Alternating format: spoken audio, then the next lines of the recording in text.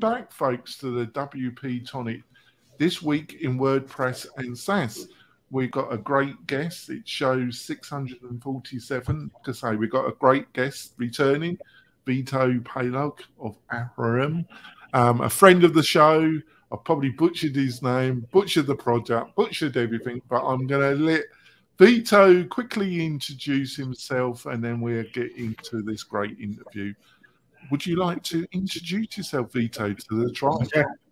So I'm Vito. I'm the founder of Atarim, uh, which is a platform that helps web agencies and uh, uh, freelancers to better collaborate with their clients, get to deadlines on time, and systemize the project delivery. That's great. And I've got my great co-host Stephen. Stephen, would you like to introduce yourself to new listeners and viewers of the tribe? Yeah, Stephen Souter from hustlefish.com. That's great. And before we go into the main point of this video, which is all going to be about Vito's experience of being an agency owner, um, then doing his own SaaS products, what he has learned on this amazing journey, we have to go for our quick break for our major sponsor to tell them about their amazing product. We will be back in a few moments, folks. We're coming back. Really looking forward to this interview. Vito's one of my favorite WordPress friends. Um, so, um, Vito, what do you see has, you know, your product helps digital agencies with handling their clients, and you've got a very large um, online community through your Facebook groups and your other activities. So you interact with a lot of digital agency, WordPress agency oh, owners. Are there any kind of consistent problems that you see them dealing with on a daily, weekly basis that you would like to share with the tribe? Right. Yes, we all, all, we all share the same exact problems, and this is what is um, uh, this is what is was kind of mystifying to me when I got into this game because as a as an agency owner, I was living in this uh, you know kind of a bubble with my own team and my own clients, and I didn't realize that every experience that I was going through. Um, hundreds of other hundreds of thousands of other uh, people all over the world are going through the exact same challenges. Uh, if we want to pinpoint this to three stuff there's only three big problems when it comes to running an agency. Um, and uh, the first thing is gathering content from clients uh, getting uh, designs approved and getting the clients to really give you the information that you need um, um, uh, on the support or on all of those communications uh, building websites, no one has a problem to do. That's the that's that's what I learned. Every, everyone can build a website. That is never the challenge.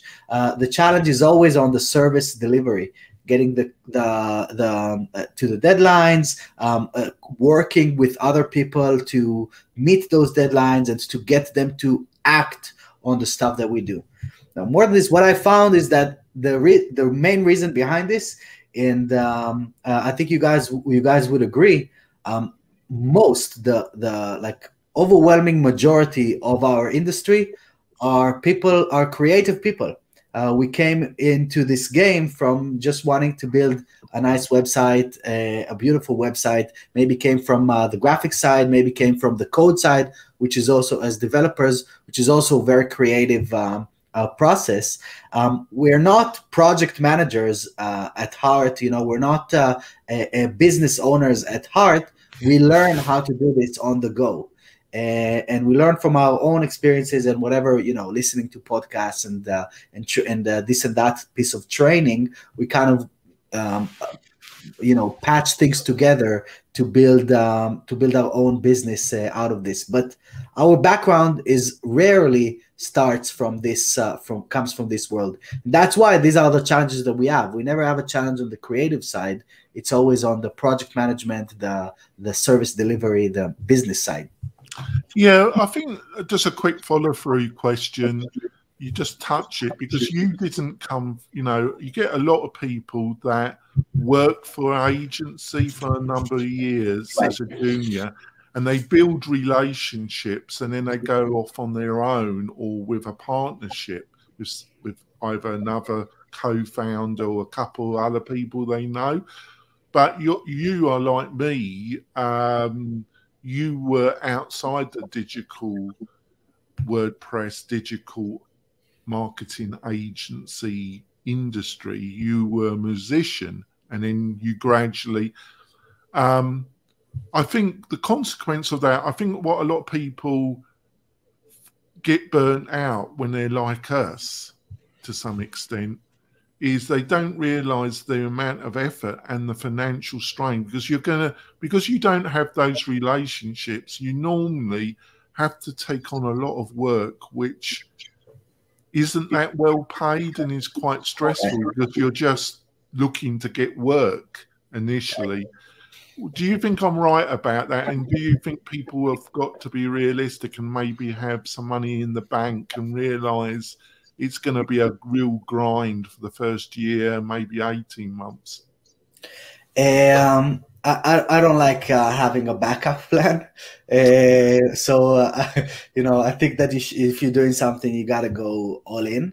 Um, but that being said, um, it is it is expected that you're not going to make any money on your first few projects.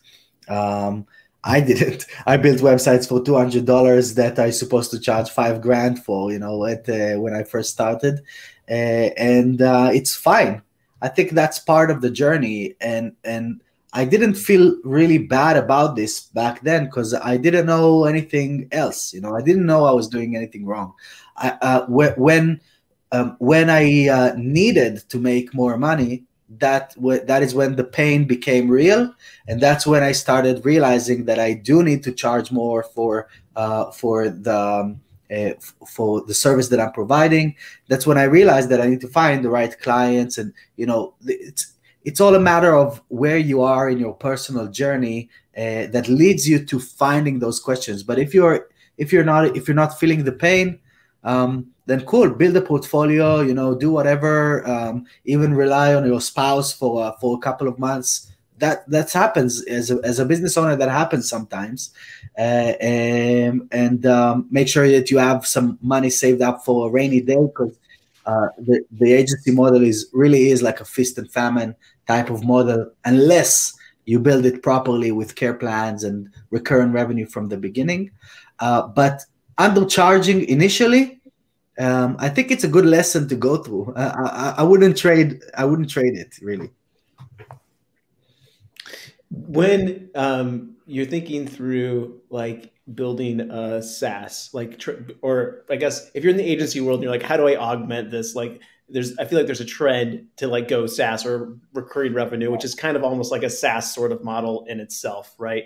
Yeah. Um, do you need to find like that unique pain point that only you can solve? Or like in like w- like with i guess what i'm trying to ask is like with you deciding to go from being an agency to building Atarim right like you found this very unique pain point decided to solve it. A uh, care plan um, is not necessarily a unique pain point right? Like right. it is a solution that a lot of other companies have do you think that in today's business climate is there a need to find this very specific niche that you can own? Or do you think there's plenty of space still in this kind of service model that other people can have just an unequal service to? Right. Um, that's a really good question. I think that depends on your goals so what what do you aspire to do, or what where where do you see yourself in five years, in ten years? Uh, for me, we were we we already had a nice uh, flow of cash from recurring uh, customers. To be honest, most of our clients towards the uh, the latter later part of the agency were just the same clients. You know, I, I didn't feel the need of going out there doing cold outreach and uh, doing uh, you know like uh, uh, sh- uh, shaking elbows, you know, post COVID, um, to uh, to bring in new business because we were we we were um, doing pretty well with that 50 recurring clients, 100 total clients, you know, that just came back with more stuff. I was nurturing them more than I was concerned about bringing new people in.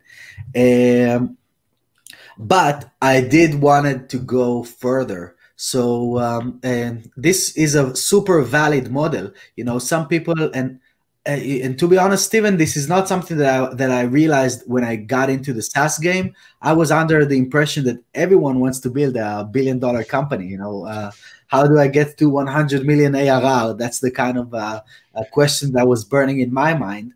Um, but mo- but a lot of people, and I would say that maybe even uh, um, well more than half of our community are cool with running a small operation uh, with uh, two other folks, you know, along with them, uh, and um, and generating the five, 10k a month, and that is that is super valid. Um, it's actually a, a, a, not only that it's that it's easier to do that. Um, it's a lot less stressful, and um, you know, as opposed to going after a market that or building a product that is innovative that doesn't exist that you need to train the market you need to uh, bring people in and you need to iterate this and invest a whole bunch of money into this. We we invested well more than $700,000 into the product so far um, to bring it to where it is today and that is still nothing compared to when you're looking at uh, some of the big products that are uh, big SaaS companies that are out there when you're doing care plans what are you investing in? Manage WP and Atarim, and you're good. You know, that's yeah. it. yeah, that bar's so, a lot a lot lower of entry. Yeah. Yeah, definitely, and you know everyone needs it. So every person that uh, uh, that uh, you build a website for is a natural fit for going into those additional services. Um, I, I looked at this like um, uh, you know like the dentist model. Um, so you know when you go to a dentist, uh, they they bring you in with this um, free, you know, a checkup, right? Uh, but then they tell you you got to come in every few months. You got to come in every few months, and every time that you come in, they bring they hit you with another thing uh, you know so um, i see that you're drinking a lot of coffee. Maybe you want to do some whitening. That's like $300 right there. And after you if you do that then the next time um, okay i see that you had braces when you were a teenager. So it looks like the teeth are moving again. So maybe we'll get you this uh, uh, Invisalign. I don't know. I don't remember what it's called. Uh, you know, so that's another two grand. So they they make their profits on the back end, and that is something that an agency um, or even a freelancer should keep in mind that um, you know the clients are an asset. You know, every time that you acquire a customer, it's an asset that you need to nurture and you need to build uh, forever and, and not necessarily go after you know raise a bunch of money and build a, a huge team unless this is what you do. This is what i enjoy. This is my my passion. Um, i like the hunt. I like the game. So um, I, I like i like this path you know. It's um i was listening to lee jackson's podcast um Agency Trailblazer and he was talking about closing down his agency um, because he's got a SaaS product as well um, with a partner. And um, he was, it was a couple uh, weeks ago, he discussed that he was closing down the his agency. And he was saying he was finding it very stressful, the agency, because he was finding that there was a lot of pressure on um, the price, but the actual projects were getting more and more complicated, and they, the the deadlines were getting more compressed. So it was more complicated projects and more unrealistic time frames. In your community, is this something you've been observing? People talking about about um, um, well commoditization of our space is definitely there. You know, unless you find the um, your edge, uh, then you're just gonna get commoditized. You're just gonna become uh, the flour, not the cake. You know, but uh, you want to be the fancy cake. So if that is building a complex website, or maybe like you're doing, Jonathan, building a, a LMS platforms, um, or focusing on um, on SEO optimized websites or you know just finding some niche is way better than just just going down and uh, competing on on price. I see that um, uh, uh, the people that do find their their edge have no problem whatsoever charging whatever they uh, they believe is the right uh, price for their model.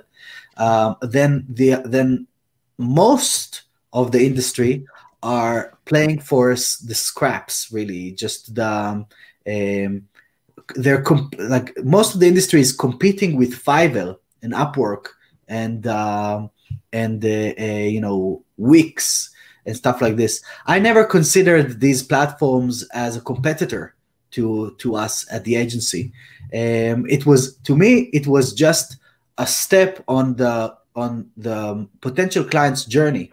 Let them go to Fiverr, get burnt, and then I'll pick them up after. Uh, you know? Yeah, yeah. Just to, before we go a break, I think you're. I've been thinking about this quite a bit, but and I see it very like the car industry, the car maintenance industry. You you have a certain clientele that have a certain car, and they're just interested in, in getting the cheapest right mechanics they can find. And then you have people that have slightly better cars, and then they're looking more for the competence of the mechanic plus a competitive price, but they're not looking for the cheapest, right. right? And then you have people that bought a brand new BMW or a Mercedes, and they just send it to the dealership because they they, they just don't want to handle any of it, and it they've got a BM brand new BMW and a brand new Mercedes, and yeah. I see that with. Um, they send to the specialist. Well, it's a different attitude, and it, you find a different attitude when, especially when people are making actual money from their website. Um, I've found their attitude about the website totally changes if they're clearly making money, A results in B, and B is an increase in their bank account, their attitude to their website completely changes. But I, gonna... I, would say I, I agree, but there is there is this point that um, uh, the the lower tier clients, the ones that just want a website for the sake of having a website, they don't think about making money from the website. So they never even get to this point that it's a, that it's a revenue generation machine um, as it is for a SaaS or for for us you know for people that know how to build those funnels build the uh, get up there on Google and all those stuff. That's right. We're going to go for our break. We'll be back We'll be discussing all things about somebody that's moved from the digital agency area into SaaS and what he what have some of his problems have been and what tips and insights he's got. We'll be back in a few moments, folks. We're coming back. You've been listening to a couple of our other great sponsors, and I just want to say we're very appreciative of their support of the show and of the tribe. Um, so let's go on with this great interview. Um, so you started Amorim, which I butcher every time. It makes you laugh, though, doesn't it? Uh, um, you know, what have been some of the real challenges that you faced in in because I think you went to the SaaS model straight away. You, because you've been involved in WordPress, and then it, it was a it's a plugin but linked to a SaaS model, isn't it? Uh, right. It wasn't like this from the get go. So we released a plugin. Uh, initially, it was just like a standalone plugin, and I have I have a, I have a few other plugins that are most people don't know about. They're kind of like a passive income, really, for me at this point. There's one that one uh, developer that does the support. Um, I check up on them once a month uh, but they generate the revenue every every month. So I had a pretty good experience with some some plugins uh, uh, um, that we built through the agency, even for some clients uh, at the agency, and then we started selling them uh, with their agreement and, and stuff like that. Um, so. Um, uh, so I was like, yeah, let's let's do a plugin. You know, uh, uh, I think I think we we because we built this as a solution for us. We knew that it worked, and it worked like magic, uh, Jonathan. It was like transformative. You know, it wasn't just like a like a WooCommerce add-on. You know, it's it wasn't a line of code. It was something that really made an impact on my own business. So I so I thought that it could make a, a huge difference to a lot of other people's businesses as well. So we pushed it out as a plugin. Um, about two months in, we saw the need to become a SaaS. uh, so uh, and that is from a few from a few aspects. First of all, the the first thing that led us was the user. Um, the users uh, needed a centralized area to manage all of those communications that were coming on because basically what Atarim does or what WP Feedback, the plugin used to do, is just you put it on a client's website and uh, and it allows you to annotate or visually collaborate right on the website itself, right?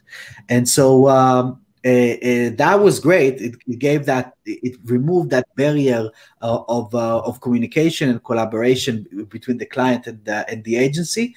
Uh, but then the agency still needed to go to each one of their 50 websites, 100 websites, to check what was going on in there, to check the stickers and all of those kind of things. So a centralized area made sense from the user's point of view.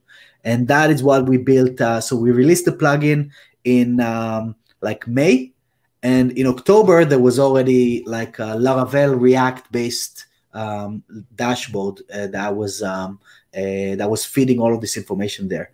Um, you, and you were asking about one of the challenges, and this was an interesting one, and I didn't predict this.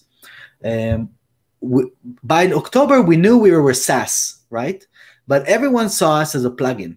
Mm. And, uh, and, and that was a huge challenge because SaaS has a completely different um, costs attached to it, and not only the hosting stuff, but developing um, developing a, a, platform is like a completely different game than developing a plugin right? You have to have everything. You build everything from scratch. Uh, and not only that the salaries for the team are much higher than a wordpress developer uh, but the but the infrastructure needs to be created from scratch for every single thing that you do you need you need um, even the basic stuff like a login system right?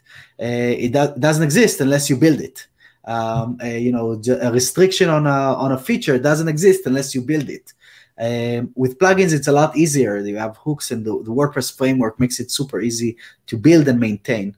So that's why a lot of plugins are at a very short, small uh, I, I think the entire industry is underpriced anyway uh, but that's what allows plugins to stay um, rather cheap, if you know what I mean, uh, compared to cloud-based applications.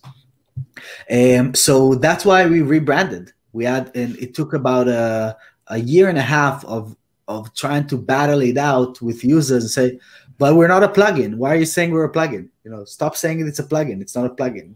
It's a SaaS with a plugin, like Hotjar has a plugin. Facebook have a plugin to install the pixel, you know. Yeah, I got a quick I got a quick question about that yeah. because you and it's not a criticism, it's just I'm just interested in your view about this. But you're you've emphasized in the difference between a plugin and a SaaS. But our yeah. major you're you you're sponsoring the show for a period of time, but our biggest sponsor, Castos, they they still offer a plugin, yeah, which is a pod, you know, one of the leading um, WordPress plugins if you if you want to do podcasting, right? Right. And then they offer this hosted service, which is superb, by the way. I'm not just saying that because they sponsor the show. It really is fantastic. So they've still got their plugin and they've still got their SaaS business. Why did you not think you could combine the both? Right. So we do have a plugin, but to, uh, we the the plugin is uh, is was renamed as the client interface plugin because really that's what it is. Um, it's a tool that you use on the front end to interact with the with the software on the back end and to have all of the stuff that we have inside the agency dashboard built into WordPress that would be crazy you know like uh, just from just from the um, um, just from the reliability point of view you would need like 70 more plugins to create what we created uh, into into this application uh, so um, so it had to be like like that you know you can't do it in a in a wordpress website uh, that is Well, going to be uh, we have to discuss that some more in the bonus content. Over to you, Stephen. Yeah. Um, before we on, went on break, you were talking about how website development has become a um, commodity a commodity. Thank you. Uh, a, com- a commodity product. Do you think that um, everything eventually devolves to commodity based? Like, will someday user feedback on a website and managing that like devolve to a commodity, or Yes. are there some areas that will never like? No, everything everything gets commoditized over time. Uh, that is the nature of technology, and you just need to be at the forefront, and you need to evolve uh, beyond that. So, um, uh, um, you know, you can look at this from a project management point of view. Um, when I when I first started, uh, we were paying a whole lot for project management. Um, you know, for a project management tool.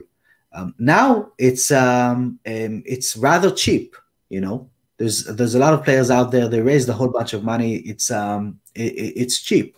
Um, um, with uh, with what we're doing, um, there are very very few people out there that are um, trying to do the same uh, type of concept. Um, they go about it in a different way. So my edge was saying, all right, instead of being a feature which is what uh, you would find uh, in uh, some of the other solutions out there. Just just the feature itself. Um, I wanted to be the one that consumes the entire problem, and that gives the user a solution. That gives them the cake. You know, that gives them a cake with candles on top, already lit. You know, Yeah, and so uh, so so they don't need to worry about anything. You just come in, you plug it in, and you play um, instead of patching things together, you know. But you know, is is Word, uh, you know, Microsoft Word is commoditized. You know, you can do, use it for free on Google. Uh, they killed it. Uh, do you think it's important um, as like an agency if you're starting to look at building a site, right? Like it's becoming that commoditized product as you're talking about. Is it important to find non-commoditized things, or do you think it's a viable strategy to say like, no, we're just going to win the commoditized game? I mean, Charmin Ultra does, you know, the toilet paper brand. Uh, Charmin like does like billions of dollars of toilet paper sales. I don't know what their profit margin on is on that at all.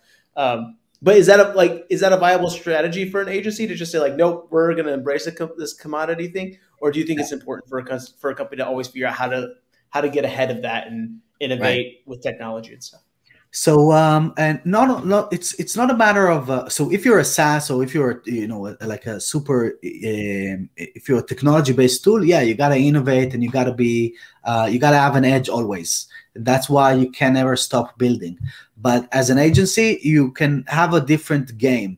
Uh, as an agency, you can be niched down or you, you can be the specialist and when you're the specialist you're creating a natural edge already uh, but more than that you don't need many people you know? You don't need billions of people to become your clients. You don't need millions of people. You don't even need thousands. You just need like uh, a few hundreds over the course of 10 years to make a good living for yourself and for your family. Um, so there's plenty of that out there. As long as you place yourself at a place that is not looking at you know someone if someone was talking to us and saying what? I can build this myself on wix. Cool please go do it. Go ahead. I'll send you a guide on how to do it. Send them a guide on how to do it. Uh, so that uh, they see how hard it is and come back. And and some didn't which is fine most of them are not in business anymore you know? They were never they were never going to become a long-term client. The ones that want to run a business they want to rely on professionals to work with them. Um, so um, and so you you can become the big agency that that does uh, the you know like like that's what yellow pages did you know? Um, they became the, the one of the biggest agencies in the world. They build websites for 100 200 bucks and um, it's a template website you get 10 of them choose this in what is your color you're good to go and yeah next let's do thousands of them ten thousands, millions of them. Uh, so this is a model, but uh, I, I, think I think this is not really. It's more of a productized service than a than an than an agency at this point. You know. Yeah. yeah. I think that's fantastic. We're going to continue this re- great conversation in the bonus content section, which you can watch on the WP Tonic YouTube channel and on the WP Tonic Facebook group page, the Mastermind group page. Um, so, Vito, how can people find out more about your thoughts and your company and what you're up to? Uh, so um, you can join our Facebook group at uh, the Atarim uh, Web Agencies community. And you can find me on Twitter, uh, Vito Peleg. And of course, check out atarim.io. Um, if you're building websites for clients, um, we can help you a lot. Yes, and you can get a really special offer if you go to the WP Tonic um, website, um, stroke newsletter. Go there and you'll be able to sign up for the newsletter, but you also will be offered a special deal on Vito's great service as well. Stephen, how can people find out more about you and what you are up to? Uh, head over to hustlefish.com. That's great. I just want to tell you our next week's guest is Morten Hendriksen from um, senior trainer at LinkedIn Learning. Um, a great friend, a personal friend, and a great friend of the show, like Vito. And we're going to be delving in about the future of e learning in the medium to the short and medium term, how technology will affect e-learning. It's going to be from one of the great experts on it and a great trainer. It's going to be a great conversation. So please join us live for that conversation on the WP Tonic YouTube channel at 9 a.m. Pacific Standard Time next Thursday. Um, Vito, thanks for the conversation. Like I say, we'll be continuing this which you'll be able to see in the bonus content. We'll see you next week, folks. Bye. So, um, I think before we go, I like to go over some of the things you said uh, during the podcast, but I've got kind of one final formic question. Um, if you could go back to your early days where you were doing like the first year of your web design when you were doing it full time um you kind of thrown the hat in like like what what if you could go back and advise yourself what would you have said what advice would have you given right. yourself um, I would I would advise not to not to focus on team growth because uh, eventually we got to a team of twelve, but uh, and we were profitable, but we weren't amazingly profitable. Uh, so I was managing a lot of people for not a lot of uh, not what you'd expect when you're talking about managing a team of 12 people uh, so what i would suggest uh, and, I, and i see a lot of people making the same the same going down the same path so um, it's not about the amount of people it's about the the bottom line the amount of not even the revenue it's the profit. How much profit can you generate from your uh, from your business? And that is the that is really the game to play. Like at the end of the month how much is left in your pocket? That's a hard game to play but that's the right one. I think that's very true words. Um before I throw it back over to Stephen, I just want to. You remarked um, your reply about your attitude to what Castos is doing. I, I'm I'm interested to delve in a little bit more about that because I don't really I didn't totally agree or understood your attitude about that right. Be, because um, you could you because the Castos they use their plugin as a way of introducing their hosting platform um, because they're very tied together. You know, the plugin does the interface um, yeah. on your WordPress website if you want to display your podcast. Yeah. But you need a hosting, well, a hosting service that helps you with the RSS feed.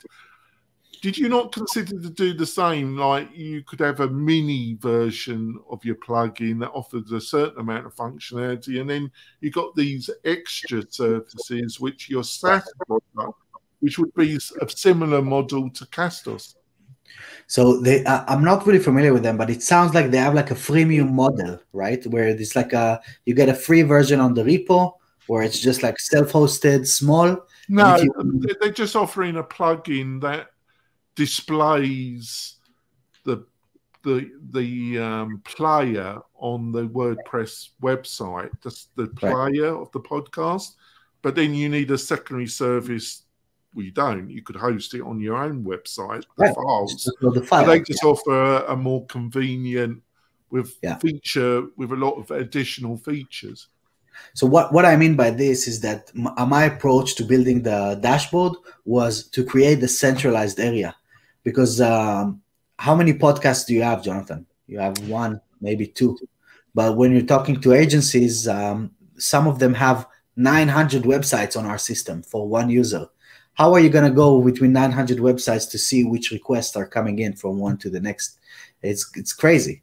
Uh, so um, so so you want to have a place, and even on the smaller tier, on the smaller tiers, maybe the freelancer has 10 websites that's also a bit of a you know annoying to just jump between the sites uh, all day long uh, which is what we did uh, you know we did uh, we did go between the webs not not not even even before we had our tool uh, but uh, when a client sent a message you got to go to the website find that login get in there figure out what what to do and how to do it. And when you're doing it at scale you're you're, you're probably visiting about 20 to 25 websites a day.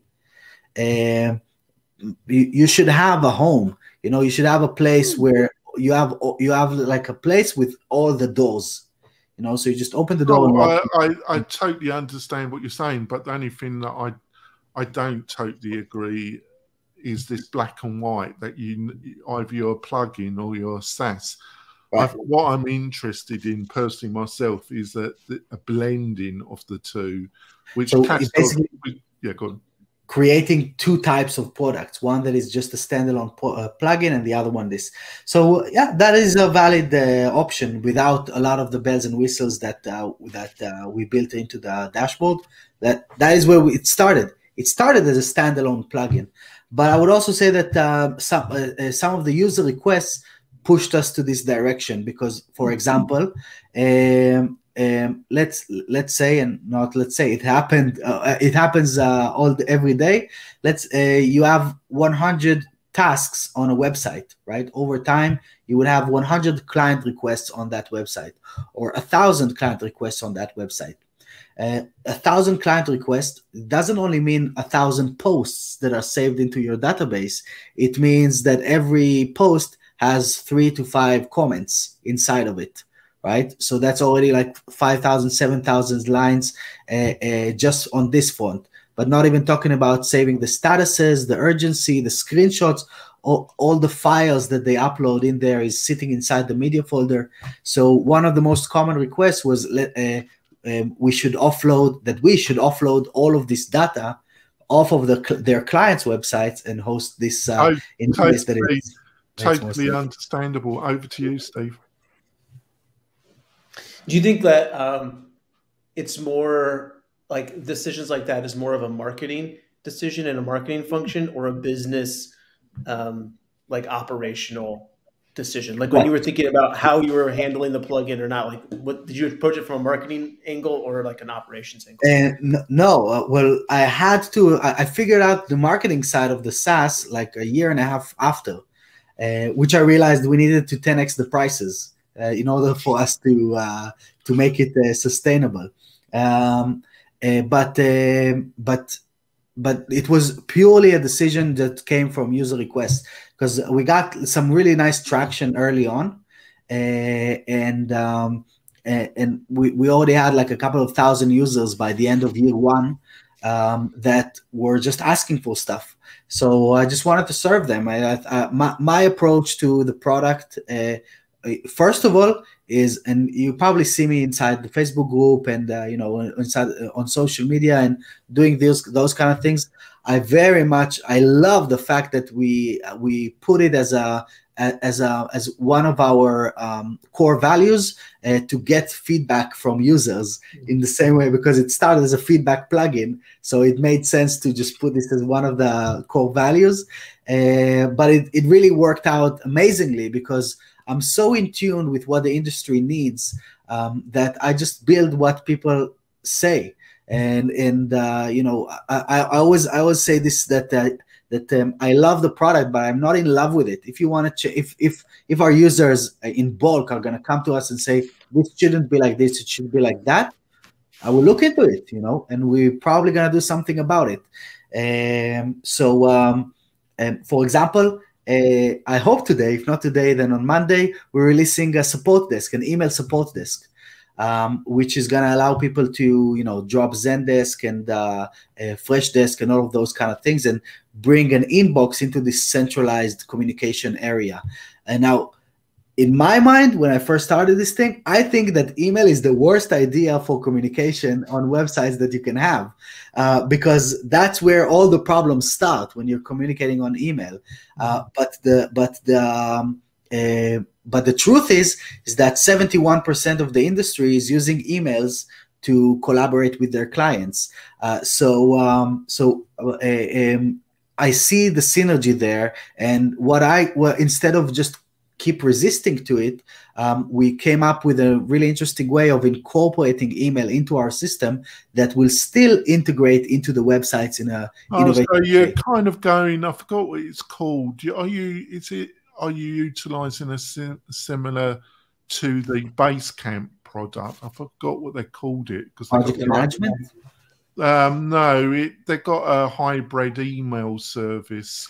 It's uh, um, but unfortunately, I've forgotten the name, so I shouldn't have brought it up. But I think, do you know what I'm talking about, Stephen? They got this. I, no, I don't. But I think it's interesting that you brought up Basecamp because, like, as I've watched your product grow, you know, like it's becoming more and more like a, a like almost a project management software with like yeah. all the mm. features and stuff. Um, you still talk about it like a feedback, like as its core functionality, but it's starting to bleed more and more into the project um, side of things. Do you is that a goal of yours to take it into like the project management side, or are you still trying to keep it very much feedback centric? And of course, there's going to be some overlaps. Right. So I look at this. It's kind of um, um our system is an hybrid is a is kind of a hybrid. It's uh it's a, a communications and projects uh, and all uh, brought in together. But really, the the differentiator and the the interesting thing that that gets me up in the morning is that it's not another Basecamp, ClickUp, Asana, Monday, you know, where you are just dropped into um, a blank sheet and you need to know what you're doing in those systems and even then it will never be designed for our specific needs because by design it's designed to serve as many people as possible um, so, um, so what we do is we look at the exact challenges and day-to-day clicks, literal clicks that uh, web designers and freelancers uh, are uh, and web agencies are doing every single day, and say, okay, this guy's clicking this thing five times a day. How can we make this zero? Right? Uh, um, okay, he's, he's going in there and he's uploading files every time that he gets a file from a user, uh, from a client the file goes into Dropbox. So, he, so the agency or the project manager or the developer needs to go into Dropbox, download to their computer, go to TinyPNG, upload it to TinyPNG, download it again to their computer, go back to the web, go into the website, upload it to the uploads folder, and then use the image. So we said, oh, we can make it a button right? So we created the push to media folder, you know, so you have a button that optimizes and you get the image from the client into the into the media folder if you choose with a click of a button. Or the logins where you need to manage passwords and you get different subcontractors that have your passwords. And what do you do if you don't work with them anymore? You go to 50 websites and change the passwords and all of this kind of uh, nonsense. So we removed the use of passwords um, you know for for these things so this is just like um, uh, the the uh, the tip of the iceberg. But even how you look at tasks. So when you're working at email, when you're doing a revision for a website, you are you're you're not doing one revision. You're doing a revision round, right? You have 20, 30, 15 uh, tasks to go through one by one. So um, I was looking at it from little from from the from the the uh, how our mind, our brain reacts to doing this on email or inside those project manager systems. What happens there in an email? You go you you get an inbox. Your inbox is like loads of lines. You click through. You're in the screen, right? You're in the in the screen itself where you have the request.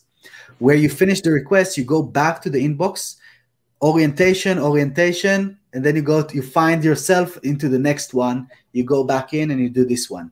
So there is no anchor. And uh, in the same way that when you go to the, you know how sometimes uh, you sit in the living room and you think to yourself, oh, I'm going to get a glass of water. You go to the kitchen, and by the time you got there, your brain got like a reset and it's like wait what what what oh yeah the water uh, so that happens to us uh, in, in small fragments every time that we look at our inbox. Uh, but when you're doing it 40 times a day 50 times a day then it becomes significant. And when you have a team of 10 20 100 people that are all doing this 20 40 times a day then you're already talking about full-on salaries that are being wasted per year just from this tiny, tiny thing, Stephen. So um, what we did is we just put the tasks next to it so that you can you have an anchor. It never moves. You, you never lose your location. You know. So these are stuff that you don't think about if you're not uh, extremely zoomed in on a specific industry. And that is what I said about agencies as well. Uh, if you find your niche, you'll find your specialty. Uh, Jonathan knows stuff about building LMSs that I will never know even though I built a couple. You, you don't want to know. Right. Maybe I don't right. Maybe this entire story will, that I just shared will tell you that. Uh, yeah. um, just, but you see what I mean, yeah? Yeah. Before we wrap up the bonus content, and I think it's been a great discussion, you know, um, what are some of the, uh, how long have you been running the the actual, this side of your business? You know, it's been over right. three years now, isn't it? Two, two and a half years two and a half years. Um, lead generation. Um, can you give a quick what was, you know, obviously what have been some of the things that have worked for your business and some of the things that you thought were going to work that haven't worked in in actually getting, you know, let's be frank about it, really leads that buy your product. What are, right. can you give it to the audience some of the things that have worked for your business and some of the things that haven't? Yeah. So the thing that works best is happy clients. That is, I think, the um, the. No, I'm finished then. uh, so, I was well just going to shoot myself because I'm not feeling right. Good. Uh, that is just you know the biggest uh, growth hack that you can have. Just keep your clients happy. Uh, and they'll they're not only come back for more, but they'll talk about you. Um, and one thing that I did realize um, is that you have to bring in new blood if you want to keep this referral flywheel going, because uh, even if you have the the most amazing, you know, the if you invented sliced bread, after you had a few slices, then it's just bread, right? You get used to everything in life. So, uh, so bringing in new blood that that experience this uh, transformation that we are able to give to our users, uh, um, they keep the wheel rolling. Uh, so this is this is the biggest one. But how do you bring them, uh, Jonathan? So um, um, um, we we have a bunch of activities. The the one that uh, uh, the one that the way that I would like to look at this is that I I uh, we have two categories. We have the nets and we have the fishing rods, right? So uh, with the nets, we're looking for communities that we can um, um, basically tap into, if you will, or just connect with and add value and uh, just be super supportive of the challenges, the experiences that they are having, and just be there when they are having our challenge. Um, fortunately, we have the biggest challenge in the industry.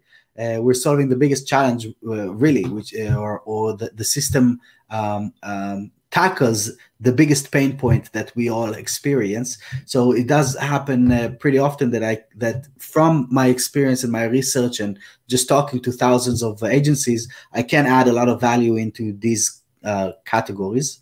Um, uh, so these are the Facebook groups. These are this is this you know, like uh, WP Tonic, and working with other products that have audiences, um, and hosting companies, and uh, you know, getting getting uh, uh, publications and all this kind. Of, these these are like you cast the net, and sometimes uh, you come up empty. Sometimes you pick up a toilet, you know, in the net, uh, but sometimes you get a bunch of fish as well.